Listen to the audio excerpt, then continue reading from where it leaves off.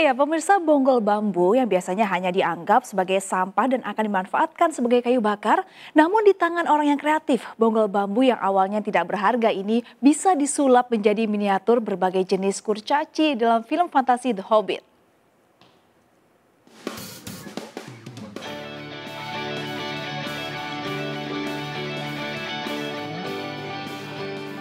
Siapa sangka jika bonggol-bonggol bambu yang bentuknya tidak teratur dan penuh dengan akar ini bisa disulap menjadi berbagai macam miniatur yang menarik.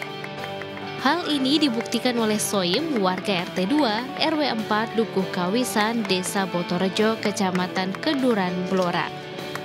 Berkat sentuhan tangan dinginnya, berbagai patung kurcaci dalam film fantasi The Hobbit dibuat meski hanya dengan menggunakan pahat dan palu. Bentuknya pun nyaris sempurna, lengkap dengan topi, kumis hingga jenggot panjangnya.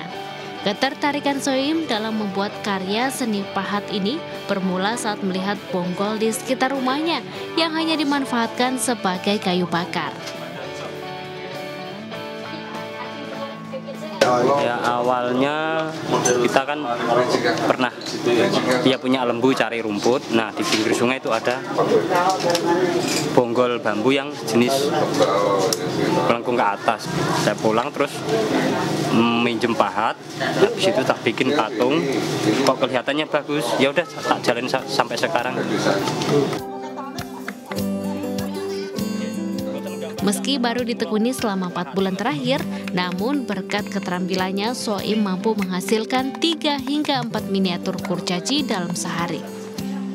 Kurcacinya pun laris manis di pasar online dengan harga ratusan hingga jutaan rupiah sesuai dengan tingkat kerumitannya. Dari Blora, Jawa Tengah, Taufik Budi Nur Cahyanto, iNews melaporkan.